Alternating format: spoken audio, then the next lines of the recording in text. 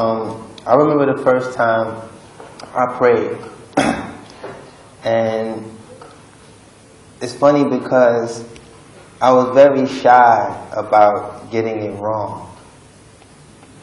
So when I was advised that whatever I knew was sufficient, so I remember the first time, all I knew was Bismillah ar-Rahman ar-Rahim, Alhamdulillah Rabbil Akbar. That was it. So when I finished the prayer, I remember walking from the room I used to pray in my house and walking to my, my bedroom. And I remember grabbing the remote control and turning the TV on. Then I just started crying profusely. I couldn't, I didn't even like, I, it was one of those, I didn't even see it coming. I didn't feel no tears coming. I didn't even feel, it was just like, something just overwhelmed me. And that's when I knew at that moment that, you know, I had actually, you know, spoke to Allah. I actually prayed. Like for real. You know? Not the, oh my God, help me when you shot. You know? Not the, oh my God, you know, I'll never drink again if you just get me through this one. I did these things.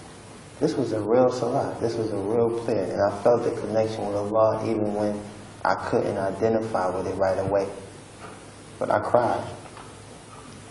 And ever since then, I took the salah extremely serious.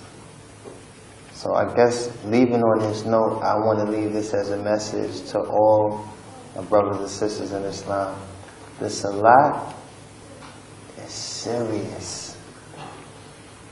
It is serious. This is purification. And there's no rush. Take your time and pray. You understand? Take your time and pray.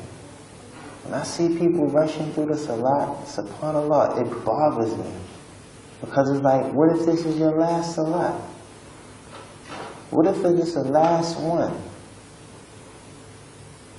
Sometimes people go into ruku and it's like, did you even recite Surah Fatiha? Like, what did this, what did you just say? Take your time and pray. Make sure in every, you know, position that you allow your body to rest in that position before you go into the next position. From the top there. Take your time. Say the dua before you start the prayer. When you go into ruku, straighten out your back. Take your time. When you come out of ruku, back into the there. Take your time. And you know when you into when you in sujood, this is the closest you get to Allah subhanahu wa ta'ala. Is when we prostrate our heads to the floor. We're at the closest point. We're closer to Allah there. Take your time. So, you know, pray your prayers. And pray them like they're your last. And a good way to keep your khushu is think about death. Think about death when you're praying that will definitely keep you in you know, keep your khushu strong. And you know that death is right around the corner. Think about death. This could be my last prayer, my last salah. And y'all seen some of the YouTubes. I know y'all have. Y'all seen a man in Medina who died in sujood. SubhanAllah. Wow.